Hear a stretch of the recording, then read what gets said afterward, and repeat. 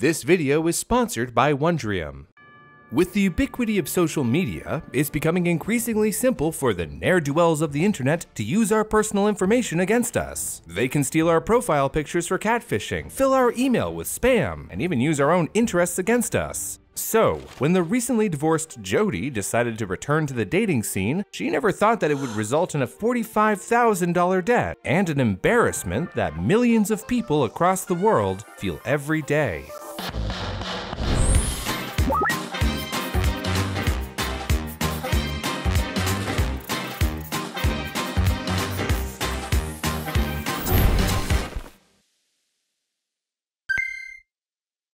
Um, the um, dating game is anxiety inducing enough without the added pressure of putting divorcee on your dating profile. When Jodi finally got out of her marriage of 23 years, she was initially hesitant to use online dating, but with the encouragement of a friend, she finally relented and downloaded Tinder. She constructed her profile perfectly, mentioned her love of camping and kayaking, and even included her favorite song, Meant to Be. It wasn't long before she met Andy, a bit of a scruffy dude who wore a baseball cap, and, much to Jodi's delight, his teeth were pristine.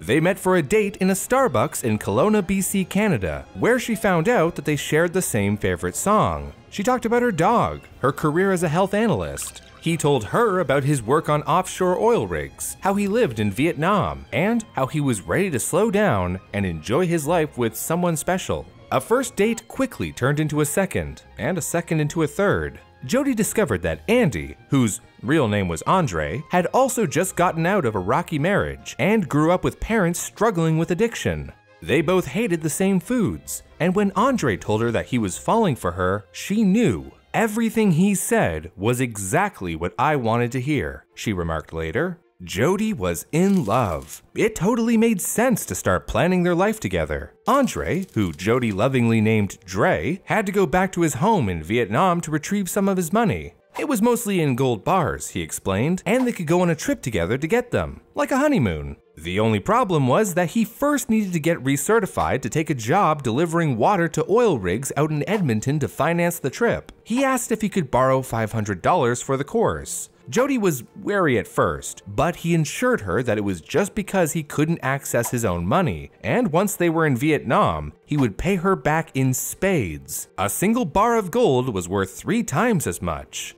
I'm doing this for our future, he told her. Now, it's not recommended that anyone believe in what people say without questioning, but it might surprise you how even reputable sources can trick you. Wondrium, the online learning service, has a whole series, The Skeptic's Guide to Health, Medicine, and the Media, presented by Dr. Roy Benaroch about how media and science don't always work together. Dr. Benaroch taught me just how important nuance is to properly representing science. News headlines about arsenic powder in baby formula gets clicks, but it's not necessarily giving you all the relevant information you need. Wondrium, if you're not familiar, is the new brand for all of the Great Courses Plus content that we know and love. Wondrium is a place for minds that wonder. They have a massive video catalog of over 6,000 hours of content on everything from how to write best-selling fiction to forensic history, all academically researched, relentlessly entertaining, and presented by experts of the field. But really, if you've ever sat up at night and wondered about anything, Wondrium will become your new favorite place. Go to wondrium.com slash brew for a free trial, or click the link in the description below. After a month of dating, Dre departed for the job in Edmonton, telling Jodi that he'd miss her every day. Only a few days later, he called her to let her know he'd been having some chest pains. A doctor recommended he return to Kelowna. Jodi's father had died of a heart attack years ago, so she was obviously worried and agreed wholeheartedly. Dre returned and planted himself down on her couch. Dre subcontracted the first part of the job to one of his employees, and he'd still make a cut. He went back to Edmonton a week later and was in contact with her at all times. He sent her timesheets, invoices, and Excel sheets full of data on all kinds of subjects. Ah, yes. The classic lover's gift spreadsheets. Don't, don't you dare!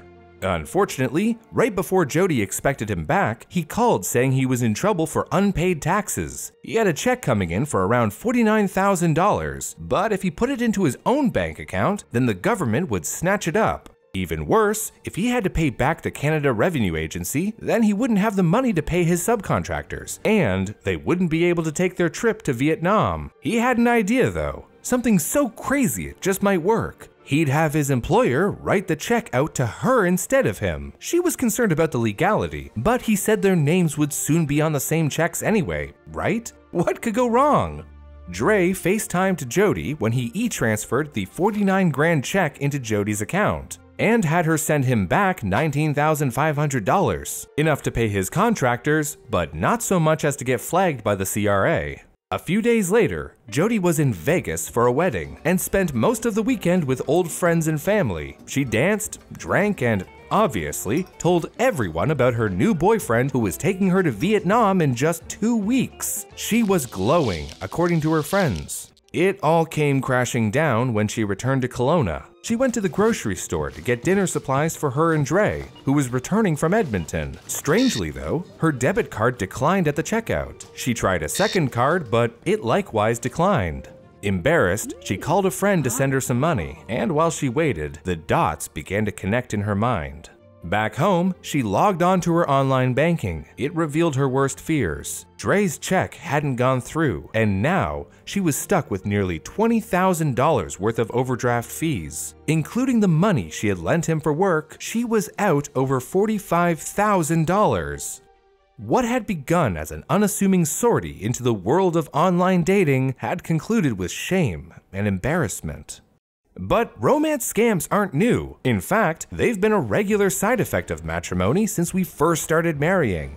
Back in 1884, a magazine entitled The Matrimonial Herald and Fashionable Marriage Gazette would let men and women looking to court to either place personal ads in the magazine or work directly with staff to procure a match. Oh, I feel like it's a lot like how sites like Plenty of Fish work today, right? Is that the aquarium store where you bought your goldfish?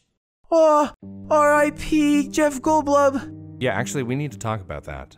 Uh, But, uh, anyway, yes, exactly. The majority of the magazine's clients were men, but the magazine was very vocal about the many wealthy women who mailed in looking for husbands. That's super weird. It super is, all of this is, but it was a major selling point. In the 19th century, marriage was seen as one of the primary ways for individuals to advance socially, not just for men, but for women even more so, since many were barred from holding jobs. Men would respond to the ads in the Herald via mail and receive an invitation to join the world's great marriage association for a fee of 2.5% of the bride's wealth when the pair was married. In this case, they meant a percentage of her dowry, but men could also opt to pay a small sum of 12 pounds instead. Accounting for inflation, that's about 1500 pounds today, which is about $2,000 US. That's expensive. Tinder Gold is only $82.99 a year, and Plenty of Fish is $81.40. Not that I know offhand, I had to look it up.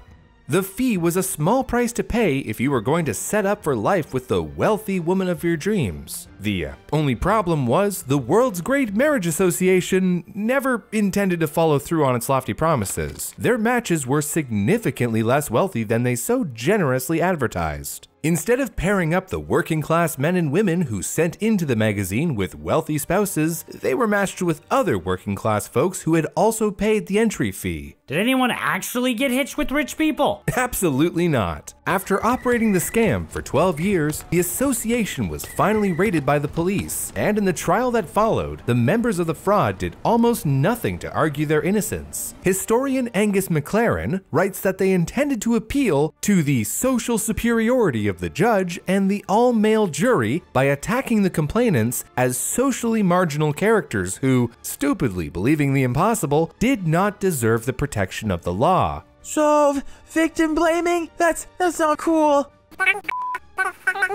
The association knew that wealthy individuals from moneyed families would far prefer to arrange a marriage through a months long marriage season for all the pretty ladies and handsome fellas to go courting. At the time, it was also shameful to marry below one's status. They also knew that members of the lower classes had far fewer options than those from the upper echelons and were ripe for exploitation. In the end, the jury convicted three of the association's major players who were sentenced to prison. Unfortunately, before the trial was done, multiple bouts of laughter had erupted from the viewing gallery at the expense of those who were scammed.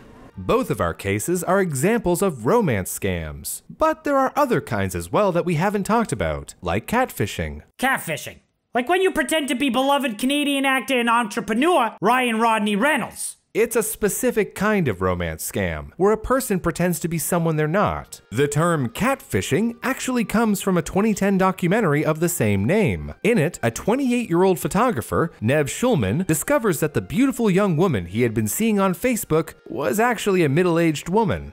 The term itself was coined using a metaphor for shipping cod from Alaska to China. The cod would be transported live in tanks on ships, but by the time the fish reached their destination, their flesh was mushy and tasteless. So the shipping companies decided to add some catfish to the tanks to keep the cod moving around. Where real catfish keep cod on their proverbial toes, and fake catfish keep us on ours. For the would-be catfish, social media has opened many doors for would-be scammers to take advantage of your likes and interests. Your online persona is basically a giant study sheet of what you care about. When Jodi listed her favorite song on her Tinder profile, Dre knew exactly what to say to make her think they were meant to be. Wait, wait, wait. We love the exact same song? The one listed on your public profile? What a coincidence! According to the Canadian Anti Fraud Centre, romance scams have cost Canadians at least $26 million in 2018. But the damage goes much further than that. Spokesperson for the CAFC, Lissam Beauchamp, says that the attitude around fraud is not that you were specifically targeted, but that you were gullible enough to be conned.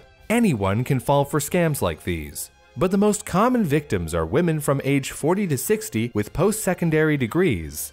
However, the real number of male victims may be much higher since men are even less likely to report being scammed. Stigma keeps those who have been scammed from coming forward, and it also makes others more vulnerable to scams. And, on top of that, scammers seek out individuals who are already isolated. An FTC survey found that those who had recently experienced trauma were two and a half times more likely to have experienced fraud than those who hadn't.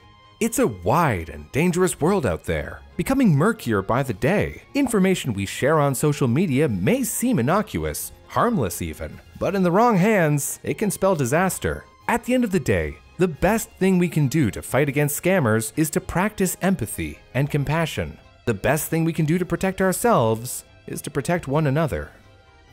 If if you enjoyed this episode, go ahead and click on that like button and maybe even leave a comment. We we post once a week, so so to keep up on all our newest releases, you can subscribe and hit the bell to make sure you're always notified when we upload. And uh, with that said, I guess I guess I'll see you next time.